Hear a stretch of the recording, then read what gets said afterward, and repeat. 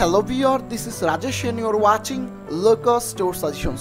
Viewers আজকের ভিডিওটি Panchagarh Banglabandha Phulbari border crossing এবং ইমিগ্রেশন সম্পর্কে কীভাবে আপনারা ঢাকা থেকে পঞ্চগড় আসবেন পঞ্চগড় থেকে কীভাবে বাংলাবান্ধা হয়ে আপনারা ফুলবাড়ি বর্ডার ক্রস করে কীভাবে আপনারা শিলিগুড়ি যেতে পারবেন পুরো ডিটেলস এই ভিডিওটির মাধ্যমে আজকে দেওয়া হবে তো যারা ঢাকা থেকে পঞ্চগড় বা বাংলাবান্ধা ফুলবাড়ি বর্ডার হয়ে আপনারা শিলিগুড়ি, দার্জিলিং, সিকিম যেতে চান, তাদের জন্য আজকে এই ভিডিওটি অনেক ইম্পর্ট্যান্ট একটা ভিডিও ভিওর্স এই কারণে ভিডিওটি লাস্ট পর্যন্ত দেখার চেষ্টা করবেন।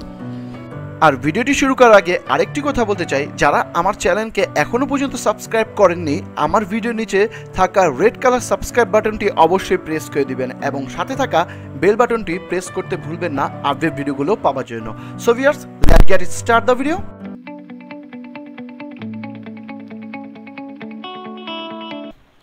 viewers আপনারা চাইলে ট্রেনে বা বাসে করে বাংলাবান্ধা পর্যন্ত যেতে পারবেন। তবে যদি আপনারা ট্রেনে যেতে চান, তাহলে সেই ক্ষেত্রে আপনারা ডাইরেক্ট ট্রেনে করে বাংলাবান্ধা বর্ডার পর্যন্ত যেতে পারবেন না। কারণ ট্রেন পঞ্চগড় পর্যন্তই যায়। যদি আপনারা বাসে যান, তাহলে সেই ক্ষেত্রে ঢাকা থেকে কিছু বাস আছে ডাইরেক্ট বাংলাবান্ধা বর্ডার পর্যন্ত আপনাদের নিয়ে যাবে। তো বাস সম্পর্কে আমরা পরে বলি। আগে ট্রেন সম্পর্কে আপনাদের কিছু ধারণা দিই। সেটা হচ্ছে কি, ঢাকা থেকে দ্রুতযান এক্সপ্রেস পঞ্চগড় পর্যন্ত যায়। Drutojan express Dhaka Kamalapur rail station থেকে রাত আটটা বাজে ছাড়ে পঞ্চগড়ের উদ্দেশ্যে এবং সকাল আটটা পঞ্চাশে গিয়ে পঞ্চগড় রেল স্টেশনে পৌঁছায়। আবার পঞ্চগড় থেকে সাতটা বিশ মিনিটে সকালে ছেড়ে যায় ঢাকার উদ্দেশ্যে এবং পরের দিন সন্ধ্যা ছটায় ঢাকা এসে পৌঁছায়। তো আপনাদের এবার দ্রুতযান ট্রেনের ভাড়া সম্পর্কে কিছু একটা আইডিয়া দিয়ে দিচ্ছি। যদি আপনারা দ্রুতযান এক্সপ্রেসে করে ঢাকা টু পঞ্চগড় যেতে চান, তাহলে সেই ক্ষেত্রে আপনাদের এসি বার্থের ভাড়া পড়বে এক হাজার নয়শো বিয়াল্লিশ টাকা, এসি চেয়ারের ভাড়া পড়বে এক হাজার তিপ্পান্ন টাকা, নন এসি বার্থের ভাড়া পড়বে এক হাজার একশো পঁয়তাল্লিশ টাকা এবং সুবন চেয়ারের ভাড়া পড়বে পাঁচশো পঞ্চাশ টাকা। আর এই পাঁচশো পঞ্চাশ টাকা দ্রুতযান এক্সপ্রেস সুবন চেয়ারের সাথে আপনারা পেয়ে যাবেন চার্জিং পোর্টের ব্যবস্থা। মোবাইল চার্জ আপনারা চাইলে করতে পারবেন, কারণ এখানে অপশন দেওয়া আছে মোবাইল চার্জিংয়ের তো ভিয়ার্স আশা করি এই কথাটা শোনার পর অনেকেরই একটু ভালো লাগা শুরু করবে যে না, ট্রেনে যাওয়া উচিত। মোবাইল অন্তত একটু চার্জ করতে পারো সারা চালে সময় কাটবে। তো ভিয়ার্স আপনারা দেখতে দেখতে সকাল সাড়ে আটটা থেকে নটার মধ্যে পঞ্চগড় এই যে রেল স্টেশনে পৌঁছে যাবেন। তবে একটা কথা আপনাদের আগে থেকে বলে দিই, সেটা হচ্ছে কি, যদি আপনারা পঞ্চগড় পর্যন্ত যান ট্রেনে করে, তাহলে সেই ক্ষেত্রে যদি কোনো অকেশনে যেয়ে থাকেন, ঈদের ছুটি অথবা অন্য কোনো অকেশন বন্ধের মধ্যে, তাহলে সেক্ষেত্রে কিন্তু ট্রেন অনেক লেট করে, প্রচুর পরিমাণ। এগারোটা, বারোটাও বেজে যায় পঞ্চগড় পৌঁছাতে, ঢাকা টু তো এটা আপনাদের বলে দিলাম, আগে থেকে সাবধানতা করে দিলাম। তো পঞ্চগড় যখন আপনারা নামবেন রেল স্টেশন চাইলে পঞ্চগড় রেল স্টেশনটা একটু সময় দিয়ে ঘুরে দেখতে পারেন। আর যদি না দেখতে চান, তাহলে সেই ক্ষেত্রে বেরিয়ে পড়তে পারেন। পঞ্চগড় রেল স্টেশন থেকে বের হয়ে আপনারা অটো ভাড়া করতে হবে। মেশিন চালিত অটো পাওয়া যায় এবং ভ্যান গাড়ি পাওয়া যায়, যেগুলো আপনাকে পঞ্চগড় বাস স্ট্যান্ড পর্যন্ত নিয়ে যাবে মাত্র দশ টাকায়। পার পার্সন ভিওর্স মনে রাখবেন, পার পার্সন দশ টাকা।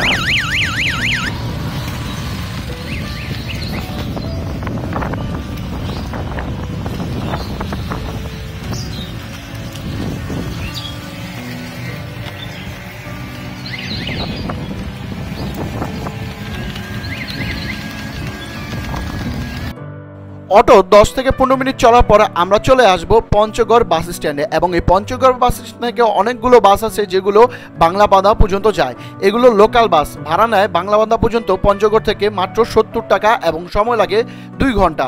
মাঝখানে তেঁতুলিয়া বাজারে কিছু সময় স্টে করে। তো সব মিলিয়ে মোটামুটি দুই ঘণ্টা মতন সময় লাগে পঞ্চগড় থেকে বাংলাবান্ধা পর্যন্ত যেতে এই বাসে করে। তো বিয়ার্স এখানে কোনো ডাইরেক্ট বাস পাবে না। সবগুলো হচ্ছে লোকাল বাস। জায়গায় জায়গায় মানুষ থামা এবং লোক নেই দেখতে পারতেছেন ডেকে ডেকে। তো আমরা এখন যাচ্ছি পঞ্চগড় থেকে বাংলাবান্ধা পর্যন্ত এবং যেতে যেতে আপনাদের একটা কথা বলি, যদি আপনারা ঢাকা থেকে পঞ্চগড়, তেঁতুলিয়া অথবা বাংলাবান্ধা আসতে চান, তাহলে সেক্ষেত্রে হানিফ বা শ্যামলির দুটি বাসই পাবেন ডাইরেক্ট চলে আসে এখানে। যদি আপনারা ডাইরেক্ট ঢাকা থেকে একদম বাংলাবান্ধা পর্যন্ত আসতে চান, তাহলে সেই ক্ষেত্রে শ্যামলির তেরোশো টাকা একটা এসি বাস আছে, সেগুলো ডাইরেক্ট বাংলাবান্ধা জিরো পয়েন্ট পর্যন্ত আসে। তাছাড়া ঢাকা থেকে একদম পঞ্চগড় তেঁতুলিয়া পর্যন্ত হানিফ বা শ্যামলি বাস আছে, যেগুলো সাতশো টাকার বিনিময়ে একদম তেঁতুলিয়া পর্যন্ত আসে। পায়ে হেঁটে চলে আসতে পারবেন যে ইমিগ্রেশন পোর্ট আছে বাংলাবান্ধা তো সেখানে চলে আসতে পারবেন। বাংলাদেশ সাইডে যে ইমিগ্রেশন কাস্টম পোর্টটা আছে এখানে, এই যে আমরা দেখতে পারতেছেন গেট দিয়ে ঢুকতেছি এবং ঢোকার পরে যে বিল্ডিংটা দেখতে পারবে, এটা হচ্ছে Bangladesh customs and immigration Bangladesh সাইডে ওই দেখতে পারতেছেন গেটটা তো আমরা এখানে ভিতরে ঢুকতে যাচ্ছি এবং ইমিগ্রেশন প্রসেস আমাদের কমপ্লিট করতে যাচ্ছি। তো আপনাদের একটা কথা বলে নিতে চাই এই যে গেটের ভিতরে ঢুকার সাথেই দেখতে পারতেছেন অ্যারাবেলা এবং অপোজিট সাইডে যে জায়গাটা, এটা হচ্ছে আপনাদের যে ছবি তোলা হয় পাসপোর্টের মধ্যে সিল মারা হয় এবং ছবি তোলা হয়। এখানেই এই রুমটার মধ্যেই দেখতে পারতেছেন ছোট্ট একটা রুম চ্যাংরাবান্ধাতে যেরকম সিস্টেম এখানেও ছোট্ট একটা রুমের মধ্যে এই প্রসেসিংগুলো করে থাকে আর একজনই করে। আর এই আশেপাশে যে রুমগুলো হচ্ছেন হচ্ছে ডিপ্রেচার সিল মারে, তারপর ডিউটি অফিসার দেখতে পারতেছেন, এবার হচ্ছে কি সার্ভার রুম আচ্ছা যাই হোক, সামনে হচ্ছে দেখতে পারতেছেন, আমার সামনে এটা হচ্ছে সোনালী ব্যাংকের শাখা। চাইলে এইখানে আপনারা ট্যাক্স জমা দিতে পারবেন। এখান থেকে আপনার ট্যাক্স জমা দিতে পারবেন এবং সামনে হচ্ছে আরও কিছু ইমিগ্রেশন সেটা হচ্ছে কি ইন্ডিয়ান সাইডে আপনারা চাইলে যে বাংলাদেশ কাস্টমস ওই সামনে গেট দেখতে পাচ্ছেন, এটা হচ্ছে বাংলাদেশ কাস্টম আরেকটা হচ্ছে ইমিগ্রেশন পোর্ট এটা এই যে বিল্ডিংটা দেওয়ালটা দেখতে পাচ্ছেন, এটা হচ্ছে ইমিগ্রেশন পোর্ট এবং হচ্ছে ওয়েলকাম টু বাংলাদেশ কাস্টমস দেখতে পাচ্ছেন এখানে এখানে আপনার ব্যাগ লাগেজ এগুলো চেক করা হয় এবং এখানে একটা আলাদা একটা পোর্ট চার্জ দিতে হয়, সেই ক্ষেত্রে পঞ্চাশ টাকা লাগে ওই পোর্ট চার্জের চালান। আর এখানে চালান গ্রহণ করা হয়, দেখতে পাচ্ছেন সকাল নটা থেকে বিকাল চারটা পর্যন্ত আপনার এই ট্রাভেল ট্যাক্স গ্রহণ করা হয়ে থাকে। কোনো সমস্যা না, চাইলে আপনারা এইখান থেকেও দিতে পারবেন ট্রাভেল ট্যাক্স বাংলাবান্ধা পোর্টে ইমিগ্রেশন প্রসেস কমপ্লিট করে আপনারা পায়ে হেঁটে চলে আসতে পারবেন এই যে zero point Banglabandha zero point সামনে দেখতে পারতেছেন। চাইলে এখান থেকে কিছু ফটো ফটো ক্লিক করে আপনারা তারপর পায়ে হেঁটেই চলে যেতে পারবেন ফুলবাড়ি ইমিগ্রেশন পোর্টে তো আমরা দেখতে পারতেছেন এখানে সামনে যাচ্ছি জিরো পয়েন্টের দিকে, দু একটা ছবি তুলবো দেন তারপর পায়ে হেঁটে আবার চলে যাব। ভিউয়ার্স আমরা এখন বাংলাবান্ধা পোর্টের মানে আমাদের বাংলাবান্ধা পোর্টের যে এখান থেকে ইমিগ্রেশন কমপ্লিট করবা করলাম। ইমিগ্রেশনটা তো আপনার দেখাইছি যে কোথায় কি করবেন। তো এখন আমরা যাচ্ছি ইন্ডিয়ান সাইডে যেটা ফুলবাড়ি। তো ওই যে সামনে দেখতে পাচ্ছেন বর্ডার তো ওইখানে যাচ্ছি পায়ে হেঁটে যাওয়া যাবে। এখান থেকে ইমিগ্রেশন করে জাস্ট এই যে বাংলাবান্ধা জিরো পয়েন্ট জাস্ট দুই মিনিটের রাস্তা ওই যে আমরা চলে যাচ্ছি এখন। ফুলবাড়ি। তো এই পাশে বাংলাবান্ধা বলো ওই পাশে ফুলবাড়ি বর্ডার এই আর কি। ওটা ফুলবাড়ি আর এটাই। তো ভিউয়ার্স যাই দেখি ওইখানে আপনাদের ফুলবাড়ি ইমিগ্রেশনটা মানে ইন্ডিয়ান সাইড ইমিগ্রেশন কীভাবে হয় দেখাবো আপনাদের। ভিউয়ার্স ফুলবাড়ি ইমিগ্রেশনে যেতে যেতে আপনাদের একটা কথা বলি সেটা হচ্ছে কি বাংলাদেশ সাইডে যখন আপনারা ইমিগ্রেশন করবেন তাহলে সেই ক্ষেত্রে আপনাদের কাস্টমসে একশো টাকা মাস ফি দিতে হবে একটা এন্ট্রি চার্জ দিতে হয় এখানে পোর্টের সেই ক্ষেত্রে পঞ্চাশ টাকা। আর বাকি যদি কেউ চেয়ে থাকে তাহলে আলাদা একশো টাকা মোটামুটি আড়াইশো টাকার মতন চলে যাবে। আবার যখন আপনারা ফুলবাড়ির সাইডে আসবেন, যখন ইমিগ্রেশনে তখন এই যে দেখতে পারতেছেন, এটা হচ্ছে ফুলবাড়ি ইমিগ্রেশন অফিস যেখানে আপনারা ইমিগ্রেশন প্রসেস করে থাকবেন। তো এখানেও কিন্তু আপনাদের সেম ওয়ে কাস্টমসে একশো টাকা আপনাকে দিতে হবে। কিন্তু এখানে একটা প্রবলেম সেটা হচ্ছে কি যে ফরেনার এন্ট্রি ফর্ম ওইটা তারা একজনে পূরণ করে।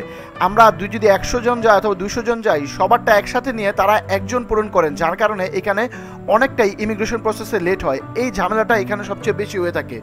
তো এটা আমাদের পূরণ করতে দেয় না এবং ফর্মটা পূরণ করার পর তারা আবার একশো টাকা আমাদের কাছ থেকে ঘুষ খায়। তো ভিউয়ার্স দেখতে পারতেছেন ভিতরে ঢুকতেছি। এখানে অবস্থা অনেকই খারাপ। যারা পঞ্চগড়, বাংলাবান্ধা পোর্ট দিয়ে যারা ভ্রমণ করতে আসবেন, তারা সেই ক্ষেত্রে বাংলাদেশ বর্ডারে এরকম পরিমাণের হ্যারাসমেন্ট নাও হতে পারেন। বাট কি হচ্ছে, আপনারা ইন্ডিয়ান সাইডে যে ইমিগ্রেশন আছে, সেখানে গিয়ে একটু হ্যারাসমেন্ট হতে পারেন। সেটা হচ্ছে কি, তারা যে ফরেনার ফর্ম সেটা নিজেরা পূরণ করে, আপনাদের পূরণ করতে দিবে না। তো সেই ক্ষেত্রে আপনাদের মাথা গরম হয়ে যেতে পারে যে এরকম কেন করতেছে বাট কিছু করার না ওইখানে। কারণ তারা কোনোভাবে কোনো মতে আপনাকে ওই ফর্মটাকে পূরণ করতে দিবে না। জাস্ট ওরা নিজেরা ওয়ান বাই ওয়ান পূরণ করবে একটা একটা করে এবং আপনাদের হাতে ধরিয়ে দিবে। তার মধ্যে কি? আবার একশো টাকা করে চাবে, তারপর আপনাদের পাসপোর্ট ধরা দেওয়া হবে। এর আগে না। তো ভিয়ার্স ওই যে সামনে দেখতে পাচ্ছেন ফুলবাড়ি বর্ডার ইমিগ্রেশন আর এই পাশে হচ্ছে আপনাদের এই বলে মানি এক্সচেঞ্জের দোকানগুলো, যেখান থেকে আপনারা আপনাদের টাকাগুলো অথবা আপনার ডলারগুলো কনভার্ট করতে পারবেন। দেখতে পারতেছেন এখানে কিছু সংখ্যক মানি এক্সচেঞ্জের দোকান আছে। জাস্ট ওই পাশে কয়টা? দুটা? দেন ওই সামনে দুটা, আর হচ্ছে এই বিল্ডিং এ যে দেখতে পারতেছেন যে দেয়ালটা, এটার পিছনে হচ্ছে একটা, আর বাকি সব এখানে দুই চারটার মতন আছে। তো এই যে ইমিগ্রেশন বোর্ডটা দেখতে পারতেছেন বিল্ডিংয়ের সামনে, এবং সাথেই হচ্ছে মানি এক্সচেঞ্জ এইখান থেকে আপনাকে মানি এক্সচেঞ্জ যা করার করে নিতে হবে। চাইলে আপনারা শিলিগুড়ি থেকেও করতে পারবেন, কোনো সমস্যা নেই, সেই ক্ষেত্রেও আপনারা চাইলে পারবেন। তো আপনাদের এখন বলি মানি এক্সচেঞ্জ আপনাদের ইমিগ্রেশন শেষ হলে, আপনারা যখন মানি এক্সচেঞ্জ করবেন এখান থেকে, সেই প্রসেসিংও শেষ হলে, দেখতে পারতেছেন ওই যে সামনে যাচ্ছি আমরা, এখানে মানি এক্সচেঞ্জ করা শেষ আমরা।